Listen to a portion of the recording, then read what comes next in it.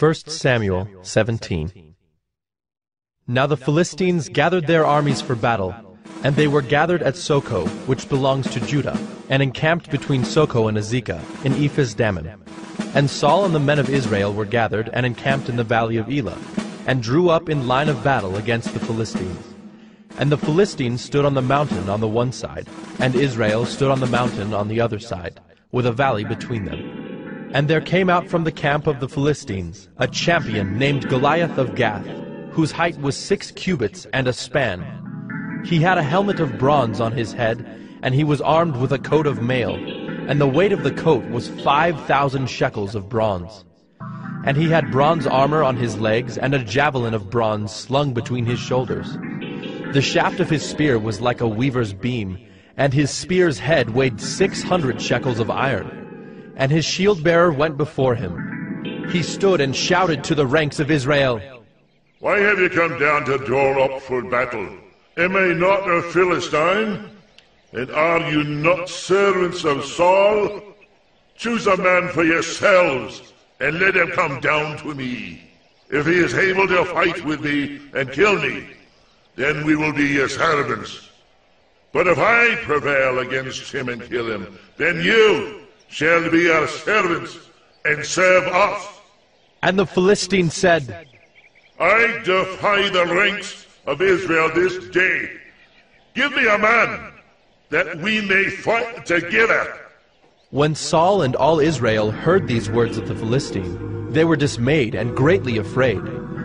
Now David was the son of an Ephrathite of Bethlehem in Judah, named Jesse, who had eight sons. In the days of Saul, the man was already old and advanced in years. The three oldest sons of Jesse had followed Saul to the battle, and the names of his three sons who went to the battle were Eliab, the firstborn, and next to him Abinadab, and the third Shammah. David was the youngest. The three eldest followed Saul, but David went back and forth from Saul to feed his father's sheep at Bethlehem. For forty days the Philistine came forward and took his stand, morning and evening. And Jesse said to David his son, Take for your brothers an ephah of this parched grain and these ten loaves, and carry them quickly to the camp to your brothers. Also take these ten cheeses to the commander of their thousand. See if your brothers are well, and bring some token from them. Now Saul and they, and all the men of Israel, were in the valley of Elah, fighting with the Philistines. And David rose early in the morning, and left the sheep with a keeper, and took the provisions, and went, as Jesse had commanded him. And he came to the encampment as the host was going out to the battle line, shouting the war cry. And Israel and the Philistines drew up for battle, army against army. And David left the things in charge of the keeper of the baggage, and ran to the ranks and went and greeted his brothers. As he talked with them, behold, the champion, the Philistine of Gath, Goliath by name, came up out of the ranks of the Philistines, and spoke the same words as before. And David heard him. All the men of Israel, when they saw the man, fled from him, and were much afraid. And the men of Israel said, Have you seen this man who has come up? Surely he has come up to defy Israel. And the king will enrich the man who kills him with great riches, and will give him his daughter, and make his father's house free in Israel. And David said to the men who stood by him, What shall be done for the man who kills this Philistine, and takes away the reproach from Israel? For who is this uncircumcised Philistine, that he should defy the armies of the living God? And the people answered him in the same way. So shall it be done to the man who kills him. Now Eliab, his eldest brother, heard when he spoke to the men. And Eliab's anger was kindled against David, and he said, Why have you come down? And with whom have you left those few sheep in the wilderness? I know your presumption and the evil of your heart, for you have come down to see the battle. And David said, What have I done now? Was it not but a word? And he turned away from him toward another, and spoke in the same way, and the people answered him again as before. When the words that David spoke were heard, they repeated them before Saul, and he sent for him. And David said to Saul, Let no man's heart fail because of him. Your servant will go and fight with this Philistine. And Saul said to David, You are not able to go against this Philistine to fight with him, for you are but a youth, and he has been a man of war from his youth. But David said to Saul, Your servant used to keep sheep for his father. And when there came a lion or a bear and took a lamb from the flock, I went after him and struck him and delivered it out of his mouth.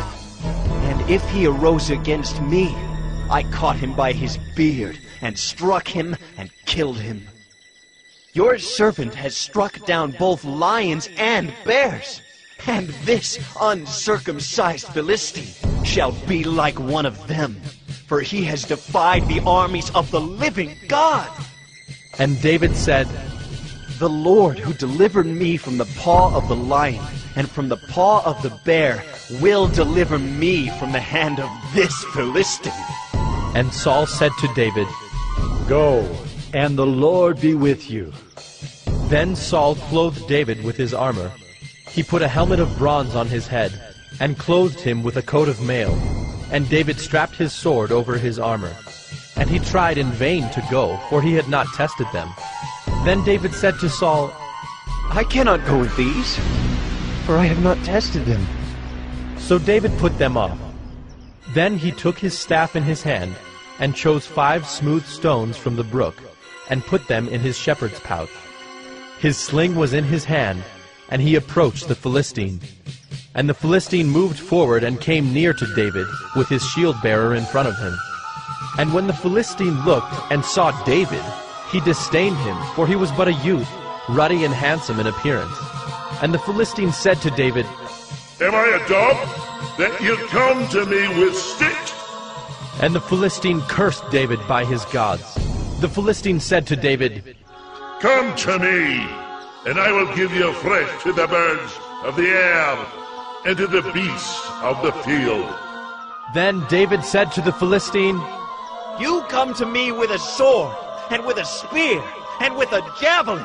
But I come to you in the name of the Lord of hosts, the God of the armies of Israel, whom you have defied. This day the Lord will deliver you into my hand, and I will strike you down and cut off your head. And I will give the dead bodies of the host of the Philistines this day to the birds of the air and to the wild beasts of the earth, that all the earth may know that there is a God in Israel, and that all this assembly may know that the Lord saves not with sword and spear, for the battle is the Lord's, and he will give you into our hand. When the Philistine arose and came and drew near to meet David, David ran quickly toward the battle line to meet the Philistine. And David put his hand in his bag, and took out a stone, and slung it, and struck the Philistine on his forehead.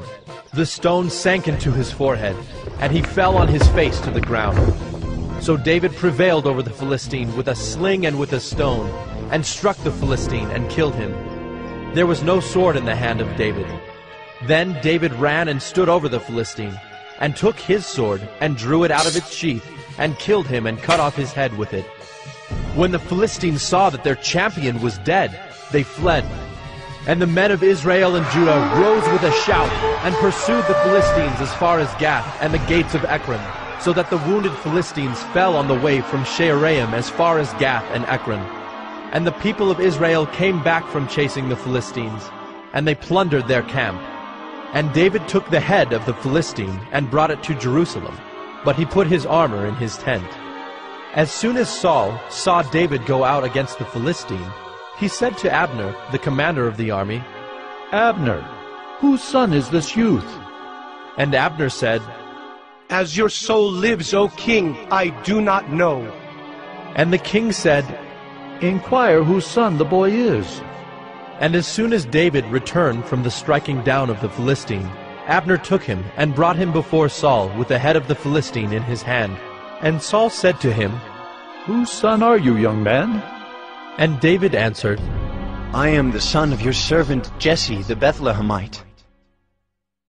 1 Samuel 18 As soon as he had finished speaking to Saul, the soul of Jonathan was knit to the soul of David, and Jonathan loved him as his own soul. And Saul took him that day, and would not let him return to his father's house. Then Jonathan made a covenant with David, because he loved him as his own soul. And Jonathan stripped himself of the robe that was on him, and gave it to David, and his armor, and even his sword, and his bow, and his belt. And David went out, and was successful wherever Saul sent him, so that Saul set him over the men of war. And this was good in the sight of all the people, and also in the sight of Saul's servants. As they were coming home, when David returned from striking down the Philistine, the women came out of all the cities of Israel, singing and dancing, to meet King Saul with tambourines, with songs of joy, and with musical instruments. And the women sang to one another as they celebrated, Saul has struck down his thousands, and David his ten thousands. And Saul was very angry, and this saying displeased him. He said, They have ascribed to David ten thousands, and to me they have ascribed thousands. And what more can he have but the kingdom? And Saul eyed David from that day on. The next day, a harmful spirit from God rushed upon Saul, and he raved within his house while David was playing the lyre, as he did day by day. Saul had his spear in his hand, and Saul hurled the spear, for he thought, I will pin David to the wall. But David evaded him twice. Saul was afraid of David, because the Lord was with him, but had departed from Saul. So Saul removed him from his presence, and made him a commander of a thousand. And he went out and came in before the people. And David had success in all his undertakings, for the Lord was with him. And when Saul saw that he had great success, he stood in fearful awe of him. But all Israel and Judah loved David, for he went out and came in before them. Then Saul said to David, Here is my elder daughter Merab. I will give her to you for a wife. Only be valiant for me and fight the Lord's battles. For Saul thought, Let not my hand be against him, but let the hand of the Philistines be against him. And David said to Saul, Who am I, and who are my relatives, my father's clan in Israel, that I should be son-in-law to the king? But at the time when Merab, Saul's daughter, should have been given to David, she was given to Adriel, the Meholathite, for a wife. Now Saul's daughter Michal loved David, and they told Saul, and the thing pleased him.